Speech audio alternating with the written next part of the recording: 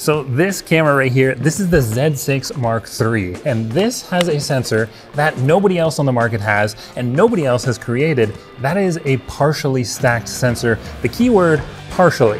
What the heck does a partially stacked sensor even mean? Well, what it means is you guys are gonna save a lot of money. This camera costs $33.99 and the burst rates on this camera, absolutely ridiculous. This camera is going to have super fast readout speeds, so you're not gonna see too much like warping or like wobbling when you're shooting in 6K modes, especially on those wider lenses. This camera will have video shooters absolutely drooling because this camera could do uncropped 6K ProRes RAW in 12-bit, all to a CF Express Type B card. Nikon's making moves right now, and honestly, this might be the best hybrid camera that we see all year.